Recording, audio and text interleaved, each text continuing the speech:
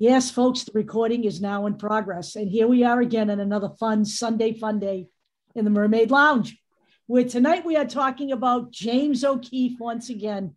And, you know, I know how hot takes are, and I know how social media is, but this is not social media. So let me say this right now. The latest to do with Mr. O'Keefe and his project Unveritas is the stealing of Ashley Biden's uh, diary. Now, we're not going to talk about that in detail tonight because we don't have any detail. Uh, and we will refrain from talking about that in detail. Uh, there are plenty of other things to talk about, and we will revisit the um, diary issue um, when we get more information on it. Right now, there's very little to go on. So, uh, without further ado, I'm going to turn this over to Dave. Except, let me just say one thing: if he did steal her diary, that's not what journalists do. Okay, that's an invasion of fucking privacy. Right.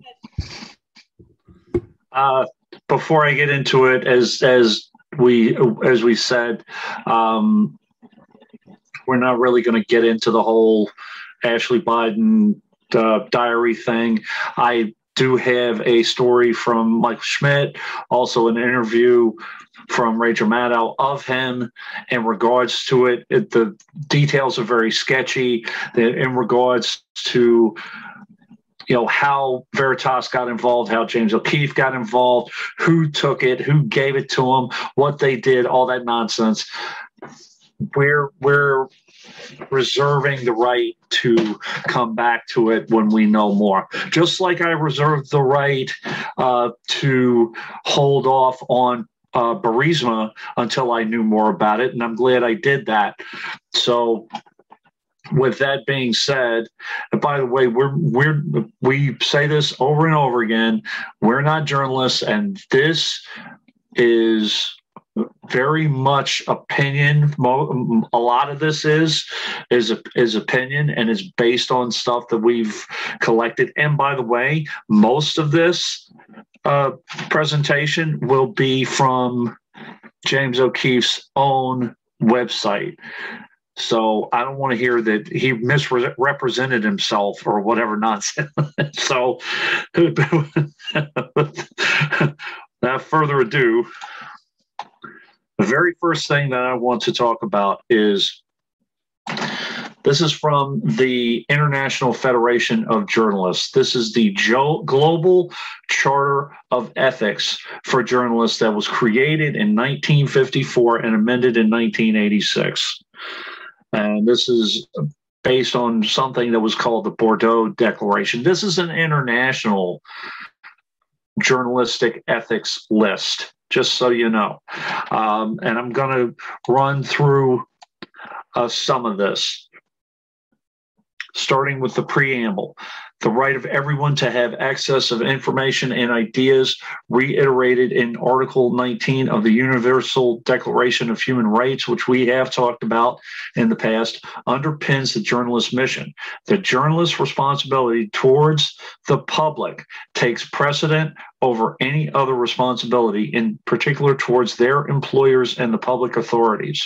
Journalism is a profession which requires time, resources, and the means to practice, all of which are essential to its independence. The International Declaration specifies the uh, guidelines of conduct for journalists in the research, editing, transmission, dissemination, and commentary of news and information in the description of events in any media whatsoever. I'm going to list some of these, and specifically number four, and argue that Project Veritas is not a journalistic operation. It's not. It's respect not, for the yeah. number one, respect for the facts and for the right of the public truth uh, is the first duty of the journalist. As a matter of fact, Marty Baron, who is an award-winning journalist in his own right and you know editor in chief, who was recently uh, retired, he calls Project Veritas a de-verification outfit when journalism is is in its essence a process of verification. And he says they're not journalists. So in pursuance of this duty, the journalist shall at all times defend the principles of freedom and the honest collection and publication of news, which does not mean going undercover and talking to people, giving people a story. Like I'm, you know, I'm with my girlfriend who's a prostitute going to Acorn and of the right of fair comment and criticism. He, she will make cl- sure to clearly distinguish factual information from commentary and criticism and or opinion in my in my opinion a lot of what i see from project veritas is opinion a lot of the stuff that has been posted in terms of film or recordings or opi- people's opinions. I mean, you can roll opinion into commentary. I mean, that could be considered commentary. Right. You know, I, I don't think I don't think this is an international piece. I'm not sure people use opinion as a word so much in other parts of the world besides the United States. I they think they I see a lot of commentary. So Right. I think if they're interchangeable in that respect. But yes, I do They're- agree with you. Yeah. In the United States, I would say opinion. That's uh, to me, that's the word. Right. Uh, the journalist shall use only fair methods to obtain information, images, documents, and data, and he or she will always report his her status as a journalist and will refrain from using hidden recordings of images and sounds except where it is impossible for him her to collect information that is overwhelmingly in the public interest he, she will demand free access to all sources of information and the right to freely investigate all facts of public interest. How many times have you heard, if you follow Project Veritas, James O'Keefe, and his um, Mary whatever merry band of insurgents, whatever you want to call them, which we'll get into.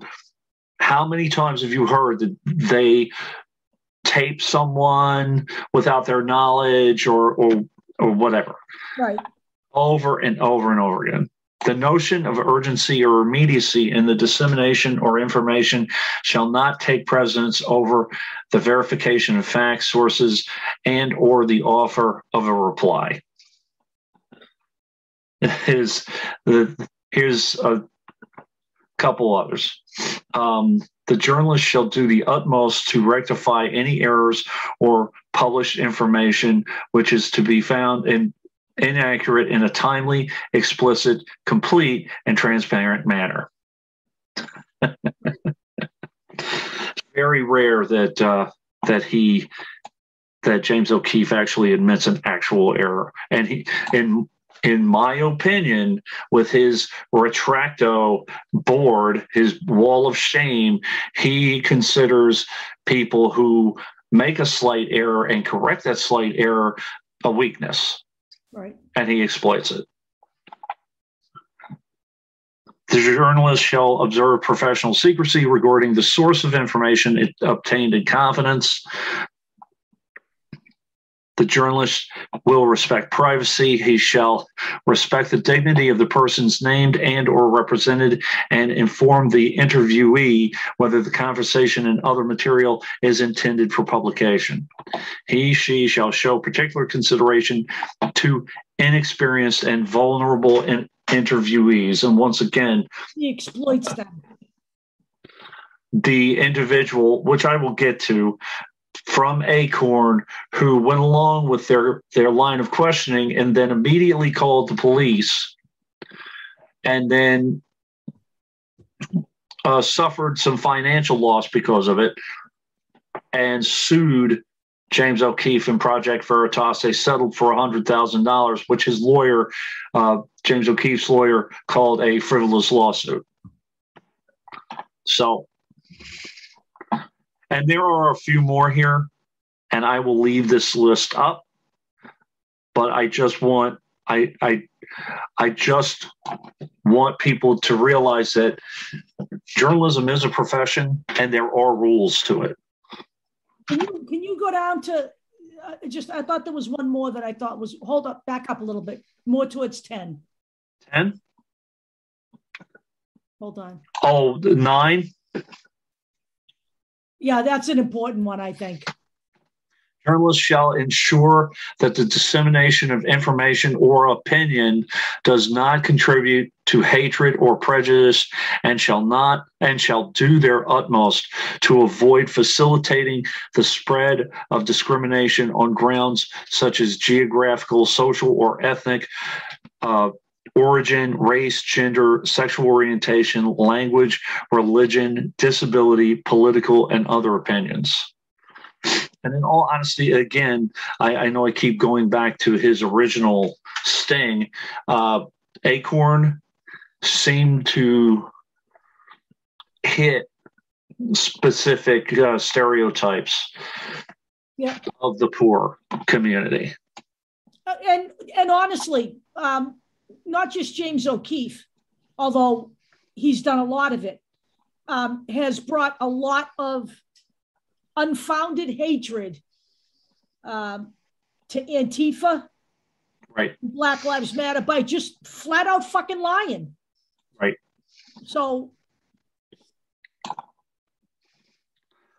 so I am going to go straight to the Project Veritas website and give you a tour.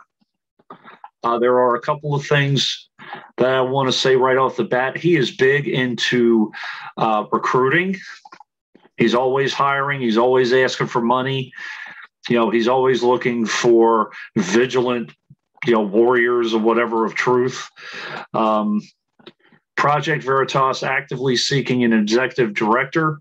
Rather eat dirt right? and he constantly talks about whistleblowers. Okay. we have a Pfizer whistleblower. And hold on. All of this, all of this is in regards to a couple of emails, by the way. Right. It's a couple of emails, a couple of potential pieces of potential artifacts, potential pieces of um, evidence, but I'll, I'll read the title. Whistleblower goes on record reveals internal e- emails from Chief Scientific Officer and Senior World uh, Director of Worldwide Research discussing COVID vaccine. We want to avoid having the information of fetal cells floating out there. Right. And let me just explain something to you so you understand this. The use of fetal cells has been going on for a while now. Um, that is not hidden, by the way. Um, it is out there on many medical websites. It's out there on the CDC website. What they don't want to do is advertise it because of the fucking right wing negative response to it and the way it is blown out of proportion. So let me explain a little bit about what they are, unless you want to go first and I can come in afterwards. No, go ahead. Well, can you put up the other page then? Which one? The one oh, on the doctor? The one with the doctor talking about the use of. Oh yeah, yeah, yeah. So let's talk about this fetal cell thing, because what when they talk about this and they amplify this story, they make it seem like we're having abortions right now, so we can collect the fetal cells to use in scientific research. Where is it? Crap. Is it over here? Oh, it's over here. Sorry. There it is. So this article came from University of Nebraska Medicine, um, and it talks about where fetal cells were used in the process of developing COVID 19. The fetal cells used were used in the research done on mRNA vaccines in general. Um, and the fetal cells were basically, um, the cell lines used were basically cell lines grown in a lab based on aborted fetal cells collected generations ago. We're talking about the 70s now. Um, so abortions happen. By the way, um, a woman is um, allowed under law to have an abortion through her first trimester. It's not an illegal process, and the use of fetal cells is not an illegal process. So, what we have here is a piece written by, by the way, um, this doctor that wrote this is a practicing Catholic as well. Um, and bottom line is they used it in the research of mRNA vaccines and they were used in the research on the Johnson and Johnson single shot COVID vaccine. Right. And it's right here. Yep. They're used in research. They are not part of the, they're not being injected into you. They're used in the research. There are some things on the planet that require um, hosts that are not, you know, something you can substitute something else for. All right. It's like using animals in medical research. There are just some things you do where you can't avoid doing it. So, um, and as I said, the, the, the, I mean, everybody's sitting up like this is something fucking new. Like using animals is like something fucking new. Like we may be using aborted fetal cells from 10 decades ago or whatever, decades ago to do research. This, none of this is new. It's just amplified now. It's time to amplify everything because of, oh, COVID 19. Right. It's amazing. Everything is a leak and everyone is a whistleblower. By the way, the word whistleblower um, insinuates that someone has already found something that has been deemed to be very important. Right. And has blown the lid off of something. Uh, this didn't blow the lid off anything. The other thing that I wanted to say is that whenever Project Veritas writes a story like this, it always, by the way, always comes back to them. There's his book, by the way, American Muckraker. Um, so here we go. The whistleblower who shared these emails with Project Veritas, Pfizer manufacturing quality auditor Melissa Strickler, said she was not sure whether aborted fe- fetal tissue made it to the final COVID vaccine product. Again, she wasn't sure. So, what are we talking about? They're being so deceptive in their emails. Opinion. It's almost like it's in their final vaccine. Opinion. It made me not trust it. Opinion, she said. Strickler said that Project Veritas was the only place she could go to tell her story. Number one, opinion. Number two, an advertisement for Project Veritas. Number three, she may have been the only fucking place that would have done anything with this. Right. So, by the Not way, this, yeah. whistleblowers, we now have her on a Christian website yep. raising hundreds of thousands of dollars for herself when we don't even know if she actually lost her job. By the way, that's not a whistleblower. Somebody making money off of something that they said. No, that's an opportunist. Right. Let me let me just say this. Let me just say this. There is an official organization that deems who whistleblowers are. There's a national whistleblower website. And there are also criteria for that. I promise right. you she's not going to be on it. Right. Okay? I promise you she's not going to be on it. We reuse, we use and redefine these terms at fucking will to fit whatever the fucking narrative is. We redefined journalism, we've redefined progressive, we've redefined whistleblower. What else would we like to redefine? We're redefining fucking science. What I'd like to say too is that right after uh, her go crowdfunding campaign was advertised with Project Veritas, of course, James O'Keefe has to, right underneath that, right underneath her GiveSendGo uh, site, he raises money for his own Project Veritas site. You know, it would be one thing if they said, as a result of this, she has lost her job and has no money. It would be one thing. It's just, oh, look at what I did. Now come give me some dough. You know what? I'm I'm so fucking annoyed at, at this bullshit. It Right. just drives me insane. Here, here we go. This is the best news on the whole fucking site right here. Project Veritas. Okay, Veritas headquarters destroyed. So help us rebuild.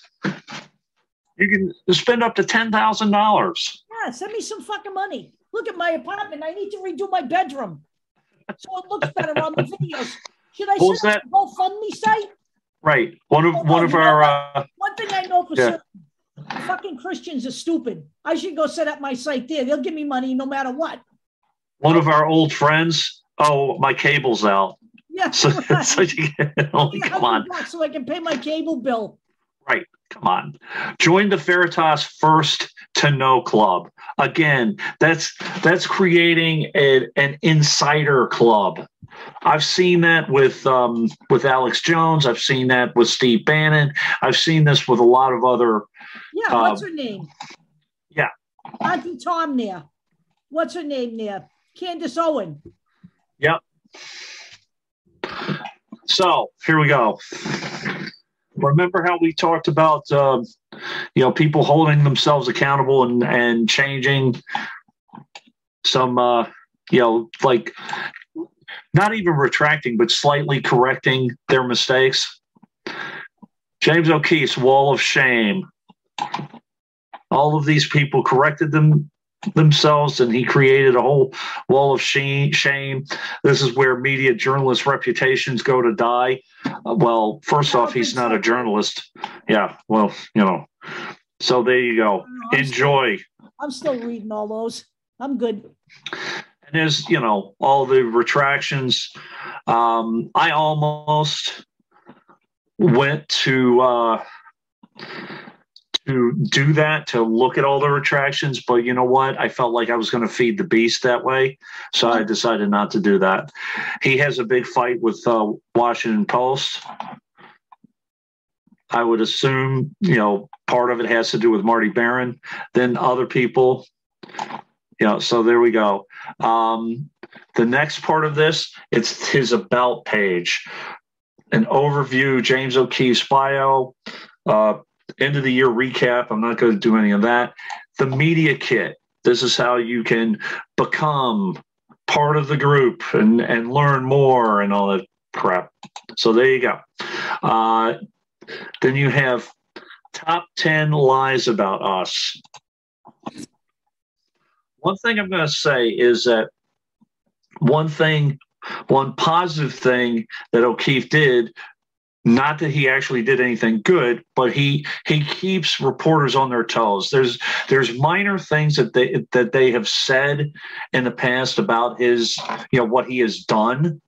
Not that he's done good things, but uh, like the Mary Landrieu incident, where he misrepresented himself and and his crew. Uh, there were allegations that he wiretapped. He didn't.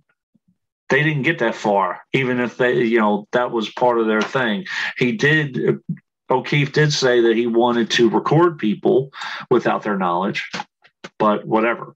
Um, lie number one: Project Veritas has no credibility know, or impact. Uh, number two, O'Keefe and Project Veritas deceptively edit tapes, Acorn, and other examples. yeah. So, you know, lie number three, just because you say something a lie is a lie doesn't make it. right. Um, number th- lie number three, James O'Keefe did not present himself as a pimp and never wore the pimp outfit. So, wait a minute. I mean, what really? What? Who cares? I mean, So they say that he's he he's he says he's not deceptive, but then he says he he poses a come on. can, can you see? Can I just? They want me to buy this guy as a journalist. Can you see Marty Baron putting a page up like this? Do you see any other journalist putting a page up like this on their website? No. No, come on. I mean, honest to God, he's like a fucking child. Now, James O'Keefe was guilty of and settled a lawsuit about misrepresenting, deceptively editing a video of San Diego Acorn worker Juan Carlos Vera. This is the gentleman who won the $100,000. He settled a lawsuit for invasion of privacy, not for deceptively editing or doctoring the footage. And that's true. He didn't do that. But what he did do is potentially damage someone's reputation, you know, unfairly. Line number five James O'Keefe is a felon, broke into the office of bugged, wiretapped, or attempted to wiretap phones of U.S. Senator Mary Landrieu. He did not break into the office. He walked up to, you know, the, the, whatever, the desk or whatever. Um, and he also didn't uh, wiretap. So, so there's a, but he was, you know, planning on what, recording people surreptitiously, and he did misrepresent himself. Correct. So it goes on and goes on and goes on. Yeah, I could care less. It's childish. Oh, here we go. Line number 10. James O'Keefe and Project Veritas planted or attempted to plant a fake story in the Washington Post. They did. So, what? How else would you characterize that? And they got caught. Right. So, Project Veritas uses a variety of aliases to get meetings with people. well, here's a basic tenet of journalism right there that's violated. Right. Let people know you're a journalist. right. Your information. So, there's a couple other things I wanted to to mention on this part of it. Uh, settling Acorn, oh, I'm sorry, mistakes that Project Veritas has made. Settling the lawsuit, the Acorn lawsuit. They consider that a mistake. They consider it a nuisance lawsuit. Number two, pleading guilty to a misdemeanor. Made a mistake of pleading guilty because he didn't do anything, right? Entry by false pretenses to enter to any real property, vessel, or aircraft in the United States security, blah, blah, blah. So, number the, the next one, uh, four, improperly edited an NPR video. Again, taping a guy who works for NPR saying that he doesn't feel that uh, that uh, NPR should be publicly funded. So what? How is that news? What's this? Again, this it's an opinion. Am I right? 2021? NPR is still standing. Actual correction. This is an oops. He didn't put a red nose on himself and put himself on his own retractable board, by the way. Project Veritas said William Romero was not a U.S. citizen, but he actually was a U.S. citizen. Okay, so he actually admitted. So I can't say that he never admits to a mistake. But, but it's, it's rare. oops. It's just an oops. And by the way, I, w- I want to say that a lot of the news outlets that he uh, reports on, they do stories every single day, multiple stories every single day. You know, Judd Legum, who we we did something on a couple weeks ago, or the Washington Post, or or the New York Times, or the Daily Beast, or the Globe, whatever. They they do multiple stories every single day. You can't expect them not to make a mistake here or there and slight error and correct themselves. That's what verification and, and correction. That's what they do. So another thing. Project Veritas legal victories at least seven seven uh, okay and they're suing uh, they're suing the new york times for libel right now so they're at eight lawsuits to the best best of my knowledge so Here's litigation in progress. Look at their litigation. That's the way real journalists operate. Get out of here. I'm not even clicking on that shit. I don't even want to look at it. Okay. I, am not giving them anything. Right. Gives a shit. Right. You a lawyer or are you a journalist? Oh, oops, you're neither. Here's my here's my point. Just because you win a lawsuit doesn't mean you're right. Just because you win a lawsuit doesn't mean you're not a bottom feeder. Right. By the way, how many people think that OJ did it and he was found not guilty? Right. You know, I'm just saying. Okay, here we go. Another another thing, mm-hmm. insider profiles and become ins- an insider. He is recruiting people again. I had I made such a mistake saying you know we should have all of these citizen journalists. oh my god. Yeah, we all said that. Okay. There's one particular guy I want to focus on because it's kind of in my area of expertise. You know, I'm a I'm a rep, you know, and I work for the Postal Service. Richard Hopkins. I want to do a couple things on him. All right, so uh, Richard Hopkins overheard uh, allegedly overheard a conversation by some supervisors talking about ballots and mentioning dates I think it was like the fifth or the sixth, um, and he he heard ballots on the third, ballots on the fourth. So immediately, what does he do? He thinks ballot fraud and backdating. Okay, so um, it, it's just he made he made statements in in a recording actually the the post actually has a link to a two and a half hour recording. I didn't listen to all of it but i listened to about 20 minutes of it. I'm like oh my god. Um, first off they were in the uh, they were in his post office. And one of these one of these articles this might even be this one, says that he he recorded inside his building his conversation with the inspector generals of Pennsylvania, uh, southern Pennsylvania, which, by the way, is highly against the rules. It's a security breach. You're not supposed to do that. And what happens? It gets back to Project Veritas, and they publish it thinking it's going to help them uh, help him. It doesn't. He actually walked back the claim. And then the day after, he he he says he never recanted, even though he's on uh, he's on recording.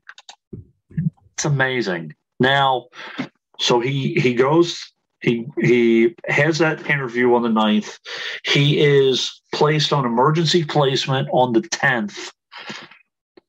And I believe it's because the postmaster in that building was given death threats, not by him, but as a result. As a result, um, personally, I would try. I would desperately. I would really try to get his job back. I I thought that the discipline was faulty, but here's here's another thing. Again, whistleblower, really whistleblower. Pennsylvania postal whistleblower raises two hundred and thirty-three thousand dollars on crowdfunding after being uh, placed on emergency placement. It was uh, danger to self or others was the reason. I did see the discipline.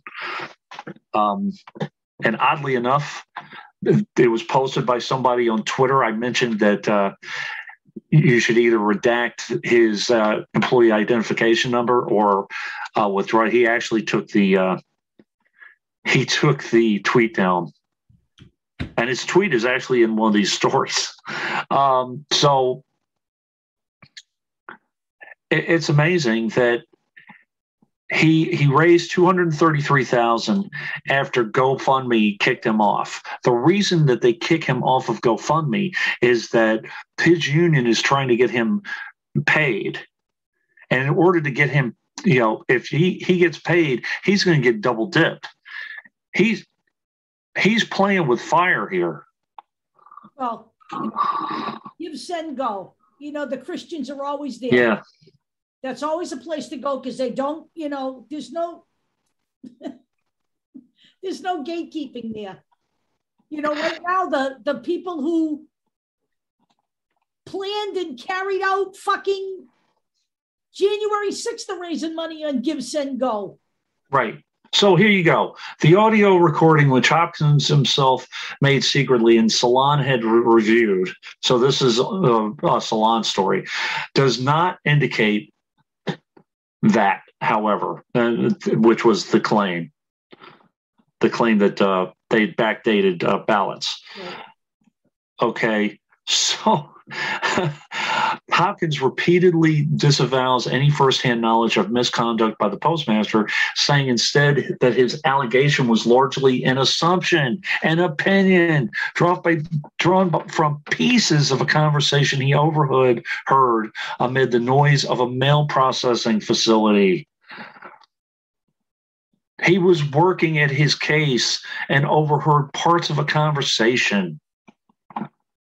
My mind probably added the rest. I understand that, he said at another point. All it is is hearsay, and that's the worst part. Why? What the fuck up? I mean, You know, whatever happened to fucking discretion? I I just don't get it. I don't get Right. it. I really don't. This is the USPS Inspector General finding no evidence of ballot fraud. Now, it no wasn't just ballot fraud anywhere in this Right. country. Nowhere. it wasn't just Ri- Richard Hopkins. There were other people that that did it. A lot of this is redacted, but it's obvious that some of this is him because of the areas that, that were involved. Okay, then you can you can take a look at all of this information. But to call this guy, to call Richard Hopkins a whistleblower, number one, and not to after he he redacts his own statement, not to take him off of this website.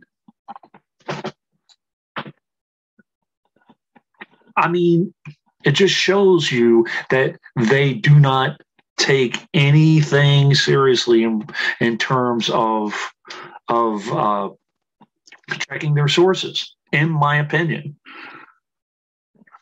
And I I know some of this, you know, some of the circumstances firsthand from working in in uh, different uh, post offices and working in a mail plant.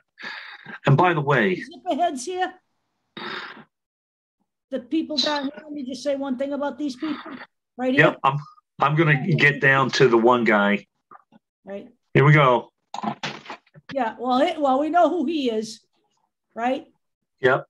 We know who this guy is. This guy actually was at the January 6th insurrection. And yes, Chase Bank took down his bank account because he was involved in the January 6th insurrection. Okay? Okay. He's a proud boy. So, And the, the claim is they took they took it down simply because he was a proud boy and a right winger. Ah, don't make that assumption. Can you go back just to the Facebook people? I just want you to know where you can find these Facebook people here now. Ryan Hardwick and Yeah. these clowns. You Yeah. can find them on the uh, United Medical Freedom Super website. Just so you know that they're also now COVID anti-vaxxing nitwits, as you might Right. get.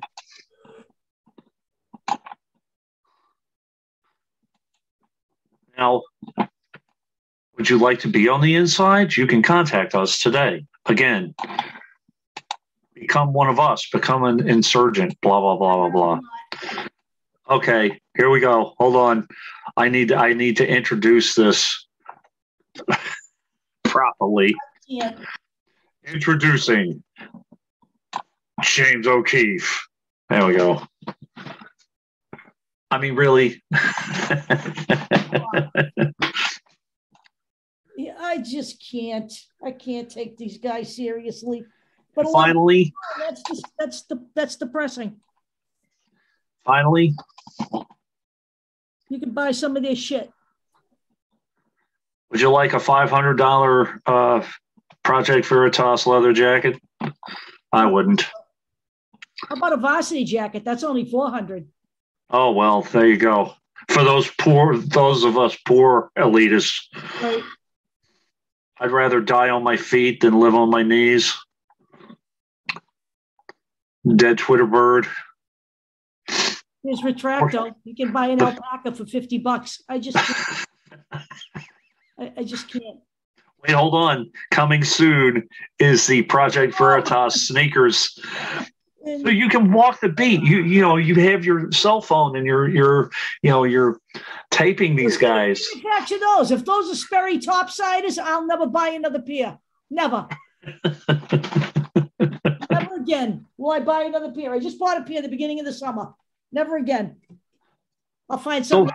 So, one other thing that I want to that I want to show, and by the way, there's there's a lot of stuff in here. You know, I I promised the Judd Legum uh, response. It's in here. There's there's other stories in here. Feel free to take a look at everything. But here, folks, but we're not going to sit and read to you all night. I do want to show this. This is the way you combat people like this. I love Columbia Journalism School. I do. Columbia Journalism Dean turns the cameras on James O'Keefe. It's right here. James O'Keefe has, you know, like comes right into the, the to his office or whatever. I'm sure he has he has a team in there, and the journalism professor whips out his cell phone and starts and starts taping him.